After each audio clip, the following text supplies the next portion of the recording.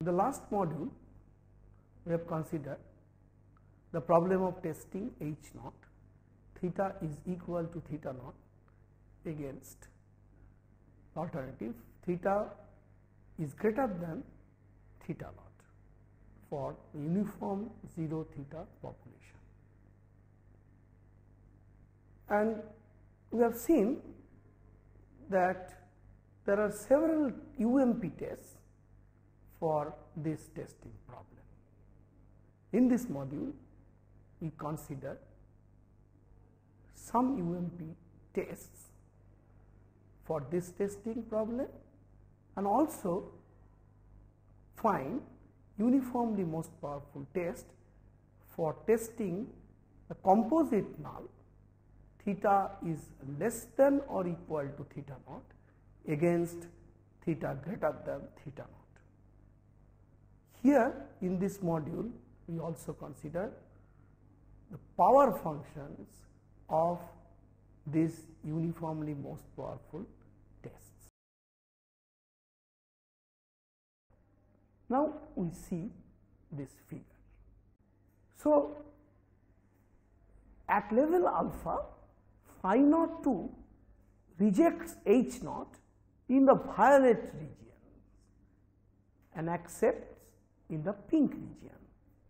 And you see if x order n is greater than theta naught, then we reject H naught and A theta naught is any subset of this pink region and there we reject H naught. So, that the size of the test is alpha and as phi naught 2 is independent of the choice of theta 1. So, whatever theta 1 greater than theta naught, this is uniformly most powerful at level alpha for testing H naught theta theta naught against theta is greater than theta naught. So, you see, so A theta naught can be any subset of this pink region such that the test is of size alpha and that is uniformly most powerful test. So, there are several uniformly most powerful tests. Now, choice of A theta naught.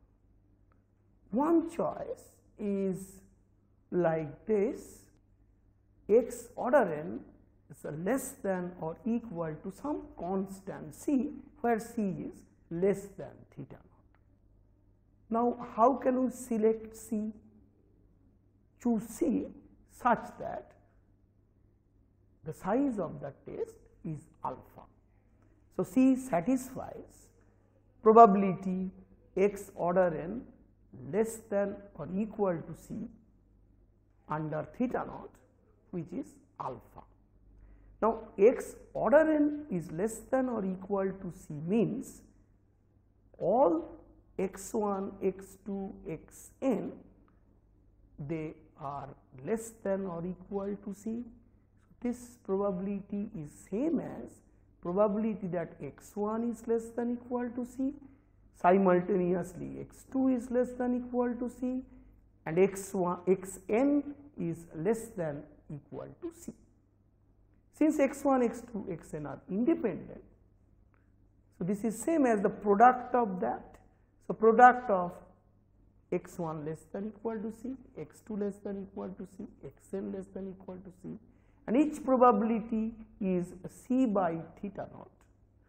So, this probability is c by theta naught to the power n which is alpha. So, that c is theta naught alpha to the power 1 by and you see this region a theta naught here. So, this is a small square whose area is c square. So, this is for n 2. For general n, this is c to the power n. So, the probability is c to the power n by theta naught to the power n. So, you can calculate this probability using the area of the square also. Now, if we select the region like this. a theta naught is set of x for which maximum of x1, x2, xn is greater than some k for some constant k which is less than theta naught. So, how can we find k? Choose k such that size of the test is alpha.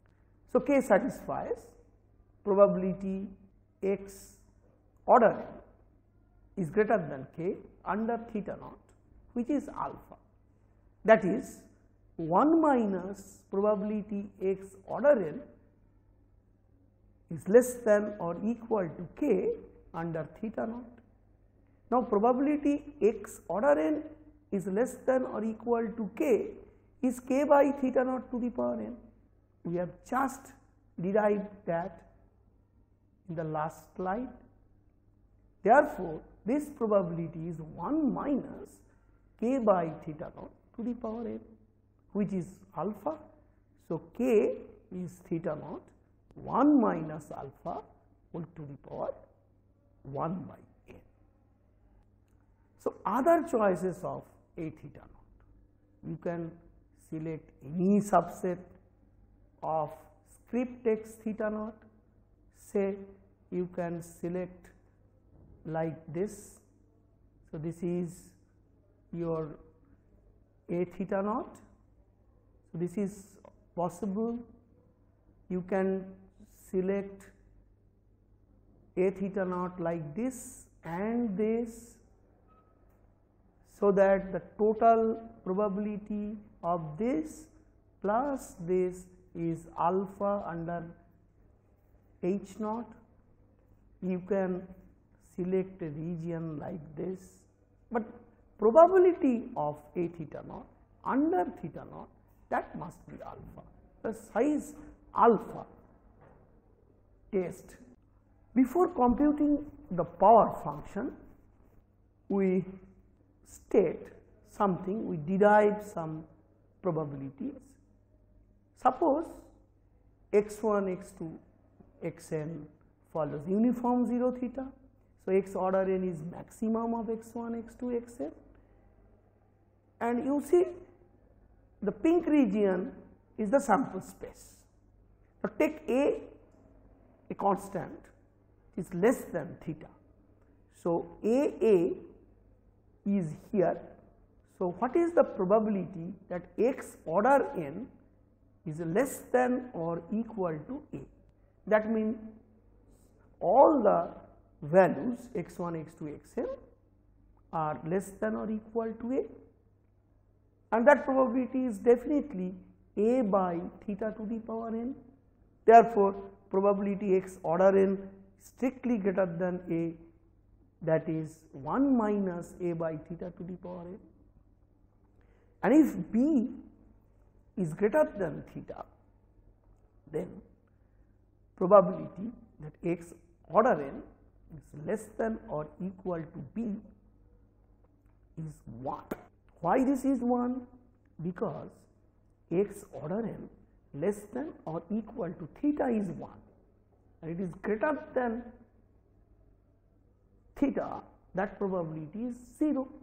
So, probability x n less than equal to b is less than equal to theta union x n lies between theta to b and that part is 0.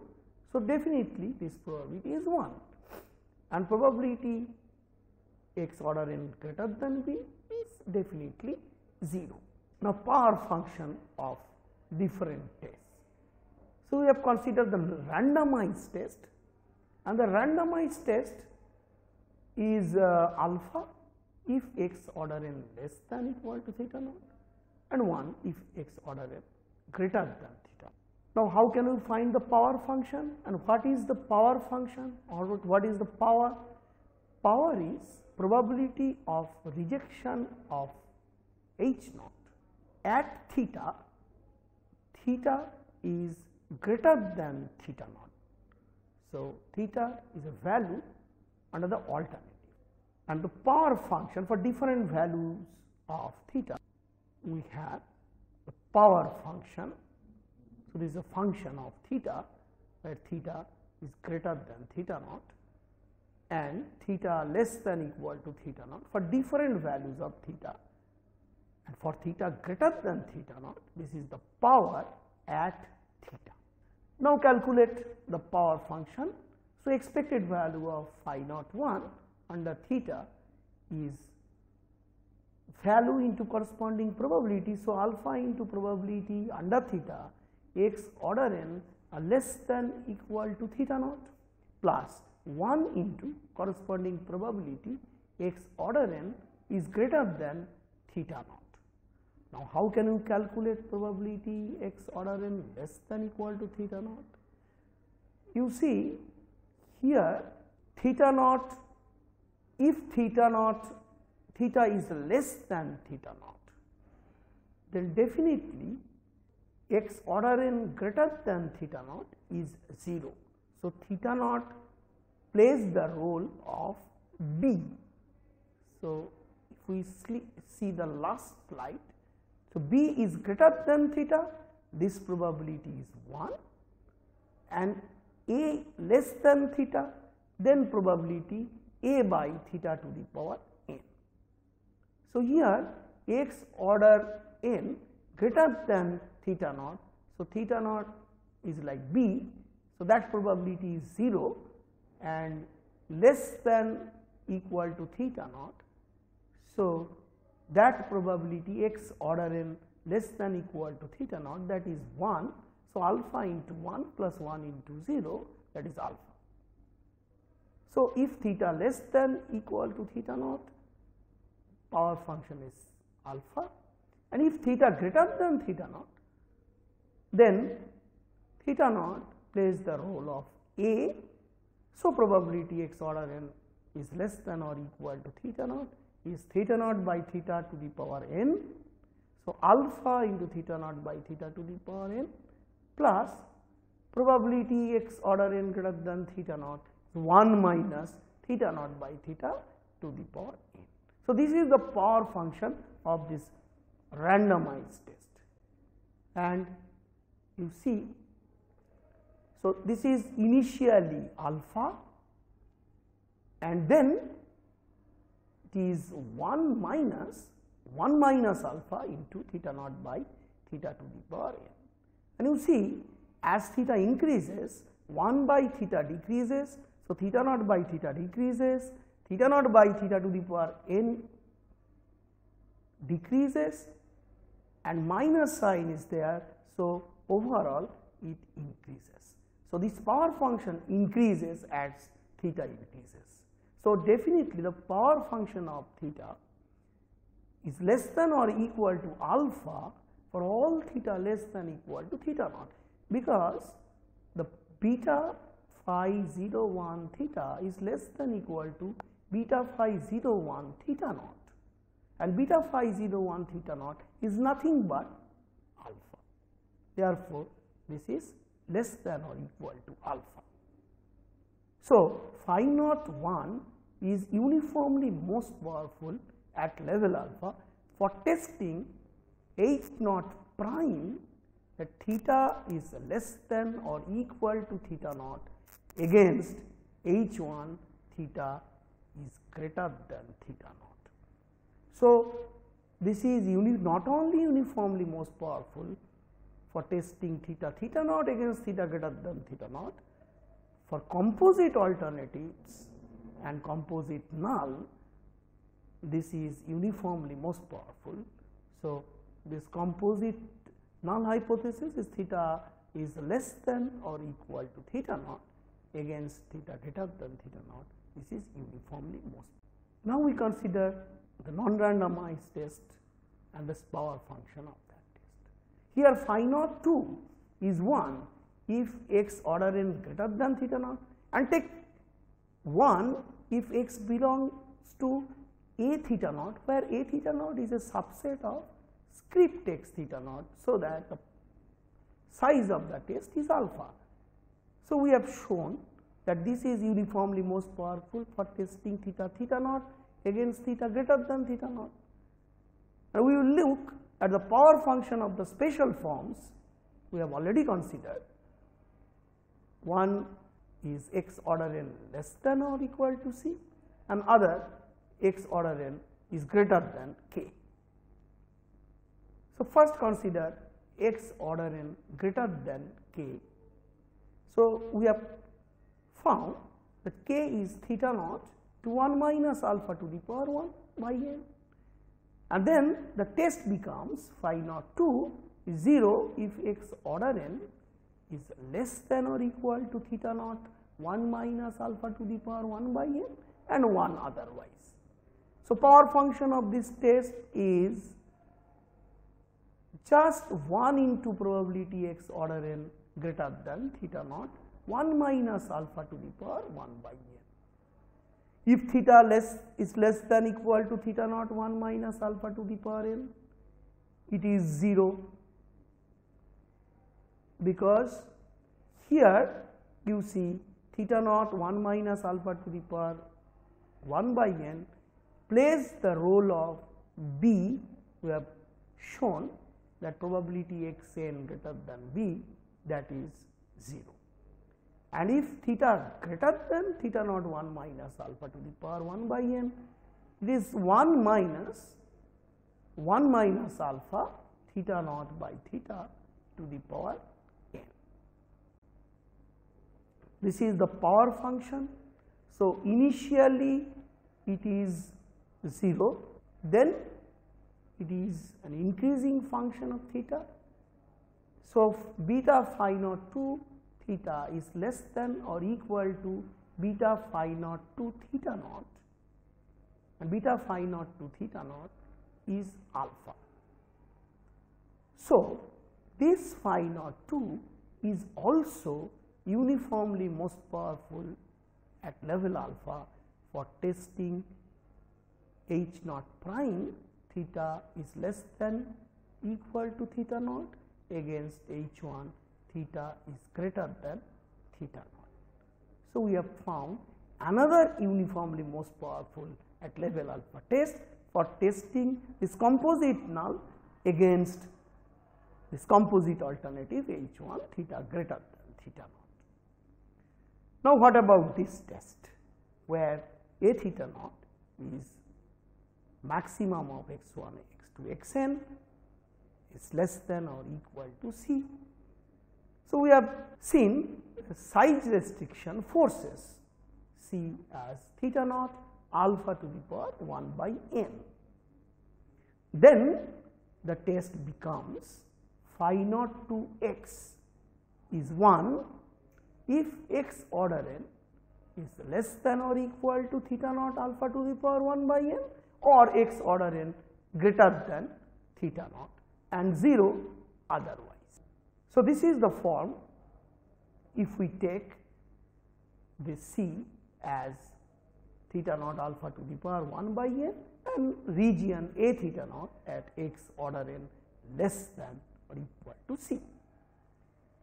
And we can calculate immediately the power function of the test as probability x order n greater than theta naught plus probability x order n is less than or equal to theta naught alpha to the power 1 by n and alpha theta naught by theta to the power n if theta lies between theta naught alpha to the power 1 by n to theta naught. And if theta greater than theta naught is 1 minus 1 minus alpha theta naught by theta to the power n. Now, you see that the second one alpha theta naught by theta to the power n is a decreasing function of theta. As theta increases, theta naught by theta to the power n decreases. Initially 1, then decreases and then at theta naught it is alpha, again it increases. So, the power function of the test looks like. So, this is U shaped with a minimum value of alpha at theta naught. Though this test is uniformly most powerful for testing theta theta naught versus theta greater than theta naught, it is not uniformly most powerful for testing theta less than equal to theta naught against theta strictly greater than theta. So, in this module we have shown that uniformly most powerful test for testing composite null hypothesis like theta is less than or equal to theta naught against theta is greater than theta naught is not unique. So, we have considered two uniformly most powerful tests for testing this composite null against composite alternative. But we have another test which is not uniformly most powerful for testing this composite null against composite alternative, but that is uniformly most powerful for testing theta theta naught against theta not equal to theta naught which we will show in the next